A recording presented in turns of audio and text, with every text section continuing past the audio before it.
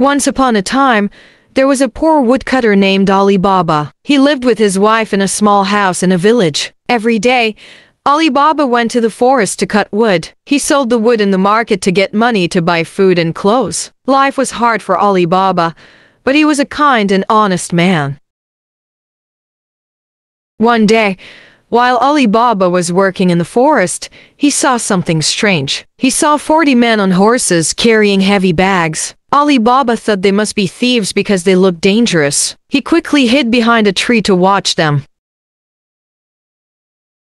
The thieves stopped in front of a big rock. The leader of the thieves stood in front of the rock and said, Open sesame. Suddenly, the rock opened, and there was a big cave inside. The thieves went into the cave with their bags of treasure, and the rock closed behind them. Ali Baba was amazed. He had never seen anything like this before. After some time, the thieves came out of the cave, and the leader said, Close sesame. The rock closed again, and the thieves rode away on their horses. When the thieves were gone, Ali Baba came out from his hiding place. He walked to the rock and said the words he had heard, Open sesame. To his surprise, the rock opened, and Ali Baba saw the same cave. Inside the cave, there were piles of gold, jewels, and other treasures. Ali Baba entered the cave. He couldn't believe his eyes there was more treasure than he had ever imagined. He decided to take a small amount of gold coins to help his family. He filled his pockets and said, Close sesame. The rock closed, and Ali Baba went home. When Ali Baba arrived home, he showed his wife the gold coins. She was very happy and wanted to know how much gold they had. She went to her sister-in-law's house and asked to borrow a scale to measure the gold. The sister-in-law gave her the scale but put some sticky wax on the bottom to see what they were measuring. Ali Baba's brother, Kasim, was a rich and greedy man. When his wife gave the scale back, they saw a gold coin stuck to the bottom. Kasim asked his wife where the gold came from. She told him that Ali Baba had found treasure in the forest. Kasim became very jealous and wanted to take the treasure for himself.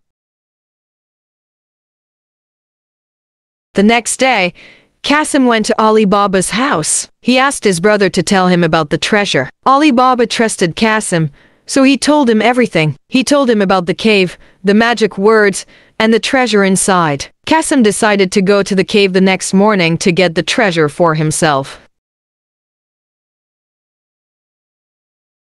Kasim went to the cave with many empty bags. He stood in front of the rock and said, Open sesame. The rock opened, and Kasim went inside. He saw all the treasure and quickly filled his bags with gold, jewels, and silver. But when Kasim tried to leave, he couldn't remember the magic words. He said, Open wheat, open barley, but the rock did not open. Kasim was trapped inside the cave.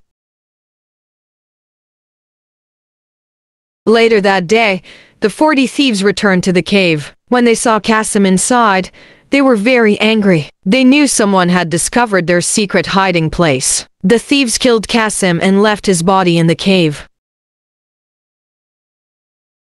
When Kasim did not return home, his wife became worried. She asked Ali Baba to find him. Ali Baba went to the cave and found Kasim's body. He felt very sad for his brother. He took Kasim's body back home to give him a proper burial. The thieves wanted to find out who knew their secret. They searched for the person who took Kasim's body. The leader of the thieves decided to trick Ali Baba. He dressed as a merchant and went to Ali Baba's house with 40 large jars. But inside the jars, he hid the thieves, ready to attack Ali Baba. Ali Baba's servant, Morgiana, was very smart and loyal. She noticed something strange about the jars. When she checked, she found the thieves hiding inside. Morgiana acted quickly. She poured hot oil into the jars and killed the thieves. She saved Ali Baba's life.